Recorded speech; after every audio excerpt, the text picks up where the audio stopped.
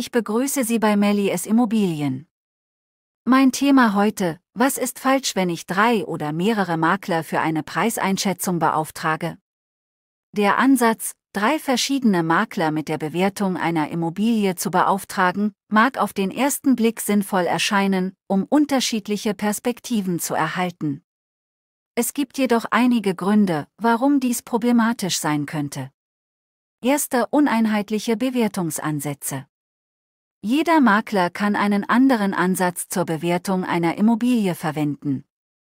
Diese Ansätze können stark variieren, je nachdem, welche Faktoren der Makler als wichtig erachtet, zum Beispiel Lage, Zustand der Immobilie, Markttrends. Dadurch können die Ergebnisse sehr unterschiedlich ausfallen, was für den Eigentümer oder Käufer verwirrend sein kann. Zweite Subjektivität der Bewertung. Makler haben oft unterschiedliche Erfahrungen und Fachkenntnisse, die ihre Einschätzung beeinflussen können. Ein Makler könnte den Wert einer Immobilie höher einschätzen, weil er optimistischer in Bezug auf den Markt ist oder ein schnelleres Geschäft anstrebt, während ein anderer vorsichtiger kalkuliert. Diese Subjektivität kann zu großen Abweichungen führen. Dritter Interessenkonflikte.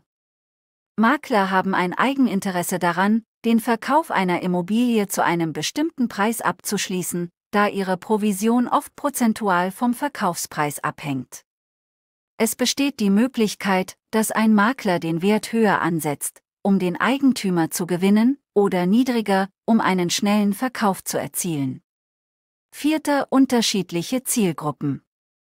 Verschiedene Makler können unterschiedliche Zielgruppen und Netzwerke haben, was ihre Preisbewertung beeinflusst.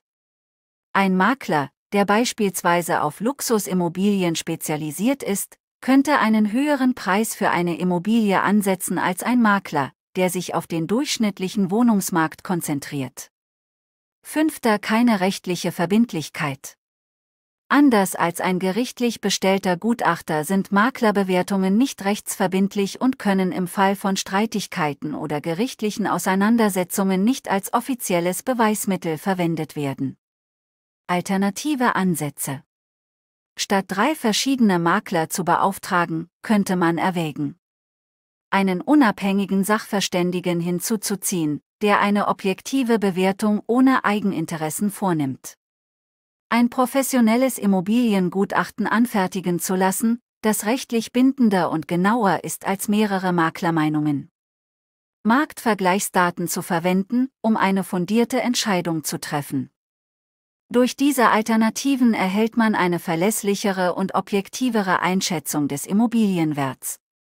Ich freue mich auf Ihre Besuch bei www.melies-immobilien.de.